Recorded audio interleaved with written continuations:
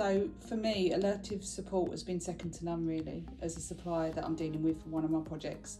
Um, they were really great in the initial stages doing a coverage survey with Tim and Joe, attended site and um, reported back very quickly the coverage survey.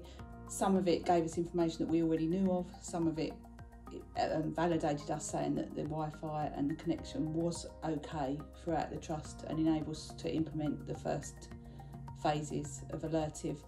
Um, we've got great engagement with Alertive. We have weekly project board meetings.